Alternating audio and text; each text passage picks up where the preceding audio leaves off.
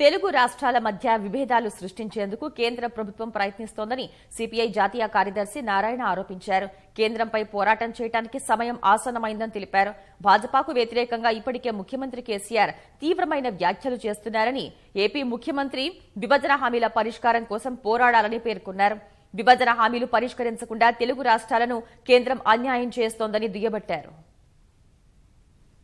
ఇప్పుడు తెలంగాణ ముఖ్యమంత్రి తెగబడి బీజేపీకి వ్యతిరేకంగా ఫైట్ చేస్తున్నారు తెలుగు రాష్ట్రాల మధ్య విభేదాలు సృష్టించి కలనీకుండా చేసేటువంటి ప్రయత్నం ఒకటి కేంద్ర ప్రభుత్వం చేస్తా ఉంది. లేకపోతే నిన్న ఓ ఉదయం పూటనేమో ఈ విభజన చట్టంలో ఉన్నటువంటి అంశాలని పరిశీలిస్తామని చెప్పేసి ఎజెండా పెట్టి సాయంత్రం లోపల మొత్తం అది మార్చేసి కేవలం పరిమితం చేసి పడేశారు విభజన చట్టంలో పార్లమెంట్లో స్వయంగా ఇచ్చినటువంటి హామీ ఉంది. ఆ హామీని అమలు చేయకుండా దగా చేస్తున్నారు. దాన్ని ఇద్దరు రాష్ట్ర ముఖ్యమంత్రులు కలిసి నిలయాల్సిన పరిస్థితి వచ్చేది ఆసనమైంది.